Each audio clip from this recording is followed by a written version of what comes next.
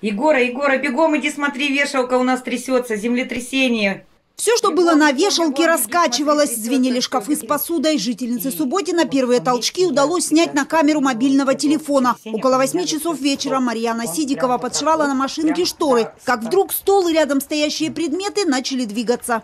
Меня покачало. Я ничего не поняла, но я поняла, что это, наверное, все-таки землетрясение. Выключила все свои э, рабочие машины.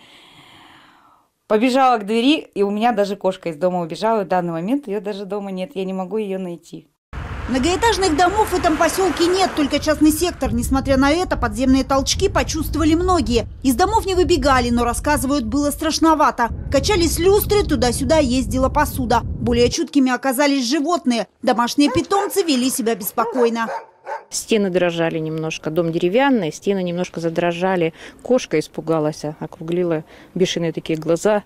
Сразу думаю, наверное, что не то. Думала, прошел трактор мимо дома. Нет, значит, посмотрела на реакцию кошки, значит, что-то.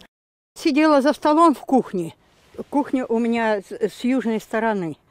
Сидела и вот так чуть-чуть трясанула, я не могла понять. То ли, говорю, соседи что там упало, то ли что. В поселке, говорят, такое здесь не впервые. Подземные толчки в этом горном районе фиксируются практически ежегодно.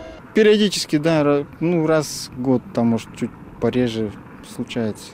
Ну, не у нас эпицентр, конечно, в горах в Ермаковском районе. Легкую дрожь как бы почувствовал. Сначала не понял, думал, машина проехала. Потом чувствуешь, как бы, ну, было немножко.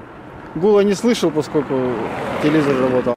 По данным МЧС, эпицентр этого землетрясения находился в горах Ермаковского района, недалеко от села Верхнеусинское, на глубине 10 километров. Сила толчков там составила 4,4 балла. Почему отголоски особо ощутили субботинцы? Видимо, географическое расположение поселка сыграло большую роль.